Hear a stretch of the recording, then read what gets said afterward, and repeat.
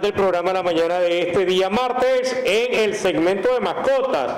Hoy tenemos el placer de tener por acá a nuestro estimado doctor Douglas Mendoza, de Clínica Veterinaria del doctor Mendoza.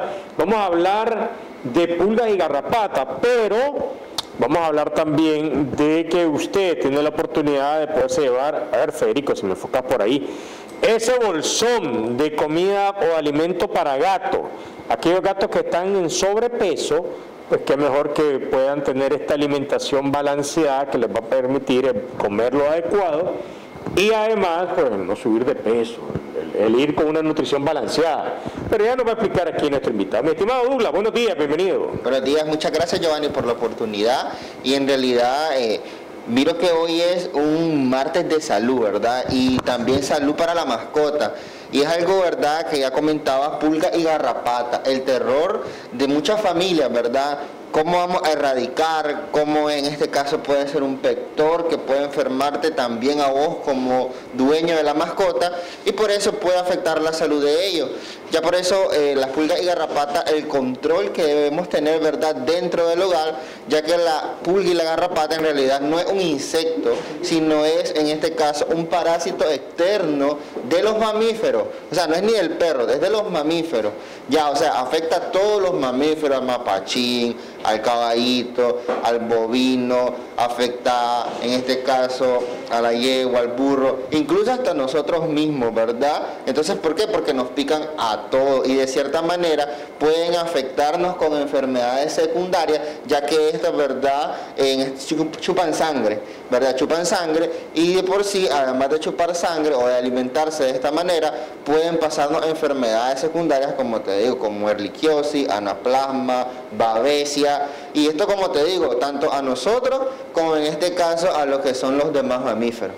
eh, es muy interesante lo que estás mencionando porque muchos creen de que esto solo sufren los perros, pues, y no es así. Has mencionado que obviamente esto lo sufre cualquier, eh, también algunos mamíferos y hay que poner mucha atención en ello. solo porque crea que si aquí solo pasa el caballo que pasa jalando el carretón de los señores que pasan eh, limpiando, cosas por el estilo, y el perro tiene contacto con otro, el garrapato, el perro puede tener, eh, perdón, el caballo puede tener garrapata.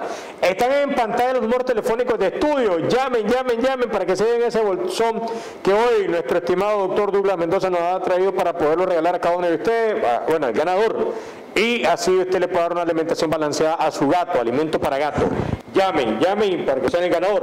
Ok, y, y pues, bueno, ya hemos hablado de esto, el controlar la pulga, el controlar la garrapata. Pero has dicho algo muy interesante. Muchas veces nosotros, muy neófitamente, podemos creer que solo porque el perro tiene contacto con otro perro puede empezar a la pulga y la garrapata. Pero no, si está en una finca, si está en un lugar... de paseo al mar. O lo llevan de paseo al mar, correcto, como has mencionado. O sea, de en cualquier lado, lo más visible es la garrapata. La pulga Y las pulgas que son transmitidas por otros señores como el gato.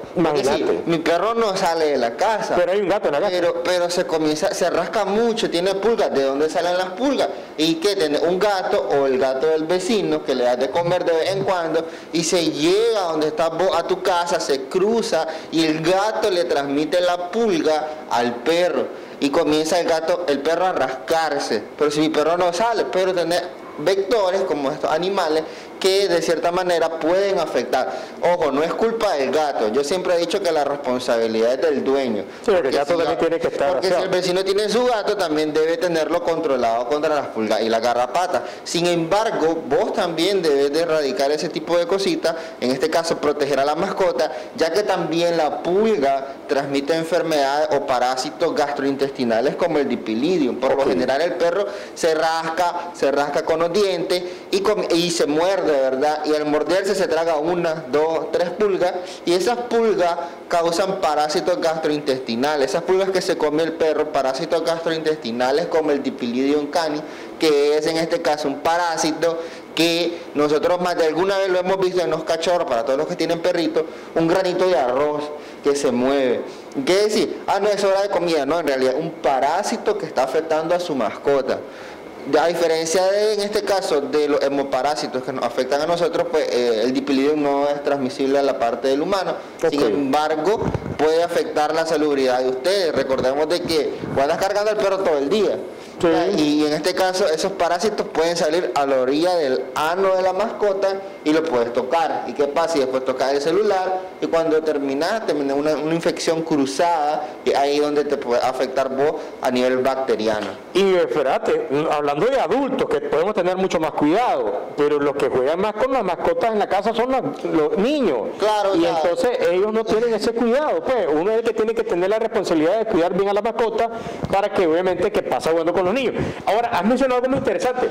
Es cierto que esto no tiene ninguna influencia desde las pulgas hacia los humanos, pero ya por el tacto, por la manipulación, por eh, eh, la falta de aseo, puede obviamente esto a afectar. Pero las garrapatas sí nos pueden afectar a los humanos. Las garrapatas sí nos afectan eh, de forma directa. Porque realmente si tu mascota está afectada, y también volvemos al punto, mi mascota no sale, pero si un caballo pasó otro perro de la calle, porque en Nicaragua tenemos muchos perritos callejeros, y una garrapata que se cayó cerca de tu casa, abría el porche, esa garrapata puede poner hasta 5.000 huevos. Y cuando mire 5.000 huevos en, un porche de 4x4, o sea, ¿te imaginas cuántas garrapatas vas a tener eh, eh, eh, en, tu, tu porche en un periodo tal vez de dos meses? Porque la garrapata en este caso eh, eclosiona con el calor. Muchas personas creen que por la lluvia, no. La lluvia sí afectan, ¿por qué? Porque eh, los huevos y la garrapata los distribuye, ¿verdad? Recordemos que pasan por todos lados la lluvia.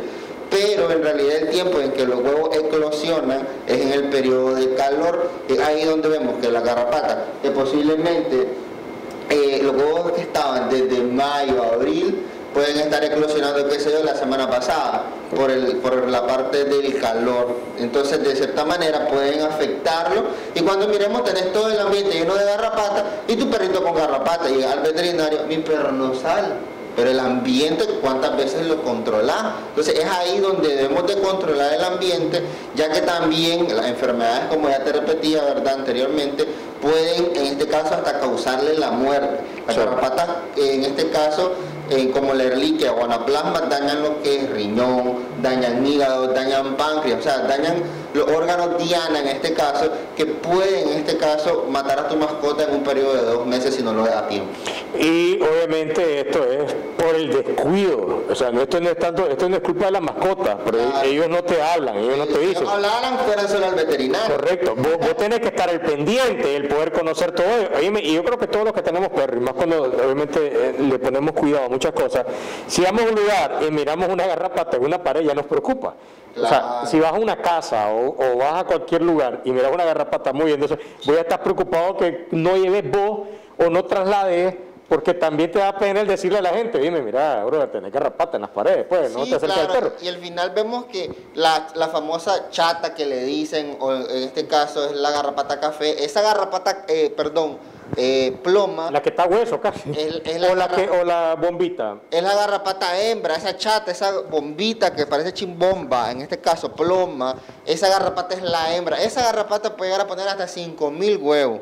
¿Y cómo, ¿Y cómo se reproducen? Pues a la par de la garrapata café, eh, ploma, es una garrapatita café, y esa es la garrapata macho, que se llama ricticefalus sanguíneo, que en este caso también transmite este tipo de enfermedad. Es decir, o sea, siempre vos, si vos vas a ver, en este caso, una garrapata eh, ploma, vas a ver abajo una garrapata café. La hembra y el macho siempre están juntos.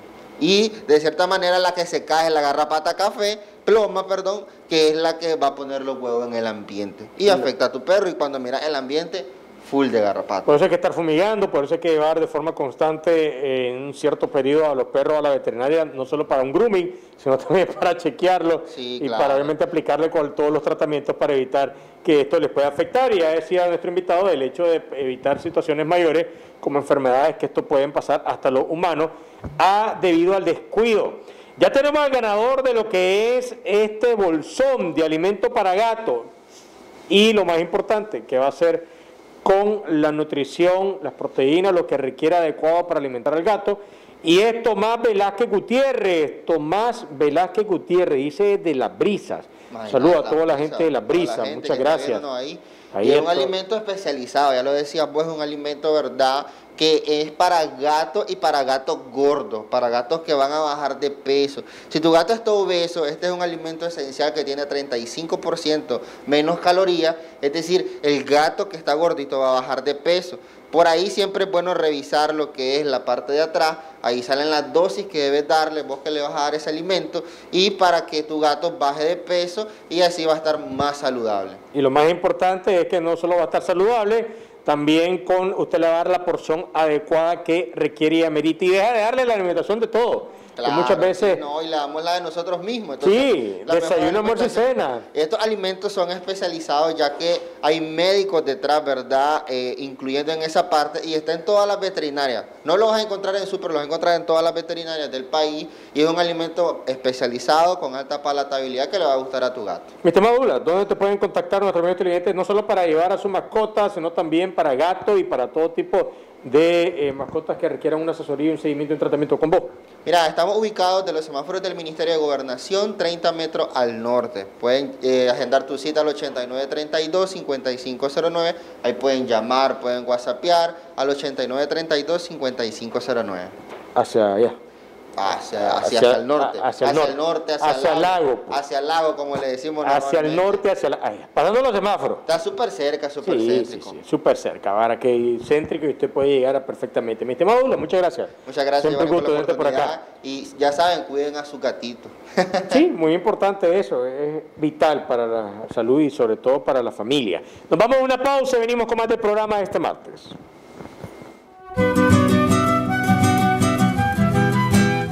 Reconocimientos, denuncias, quejas y sugerencias. Envíelas a Canal 12. Programa Buenos Días Nicaragua. Residencial Bolonia. O llámanos a los teléfonos 2266-0691, 2266-9983, 2266-9984. Escríbanos a nuestro correo electrónico canal12 arroba canal12.com.ni. Redes sociales, Facebook Noticias 12 Nicaragua, YouTube, Canal 12 Nicaragua, Twitter arroba Canal 12 Nic. Visita nuestro sitio web www.canal12.com.ni.